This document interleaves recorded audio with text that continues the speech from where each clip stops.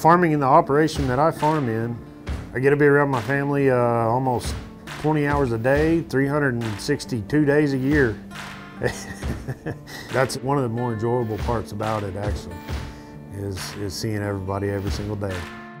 The other highlights would be uh, taking something that's a little seed, putting it in the dirt, watering it, fertilizing it, watching it grow.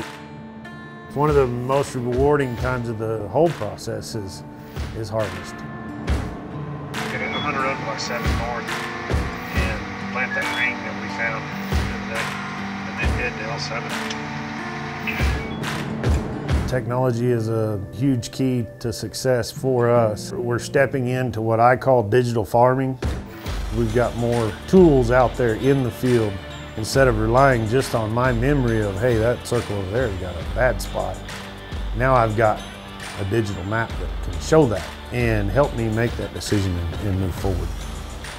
We use probably daily six, seven apps at least. Me and my brother Mark, we constantly have an app up that we're watching an operation while we're doing something, you know, more important, something that someone couldn't do.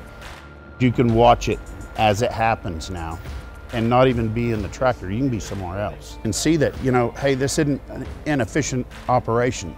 I need to go over there, get somebody in line, you know.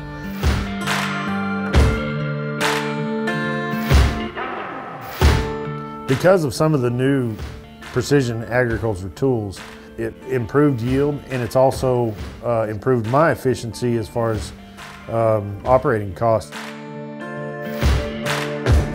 One of the cooler things that we're starting to use is a drone. Uh, we're starting to, fly our fields on a regular basis to see uh, what we can do to try to correct some problems in season while the crop is growing.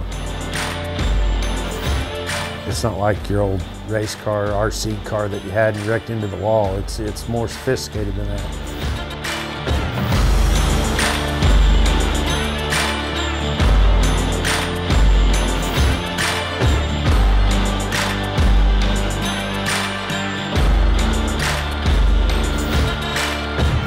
Takes a lot of a lot of hours. We don't necessarily make money by by the hour. We make money by acres, by years. It's a marathon. It's not a, a sprint, and that's what it takes to get food on everybody's table.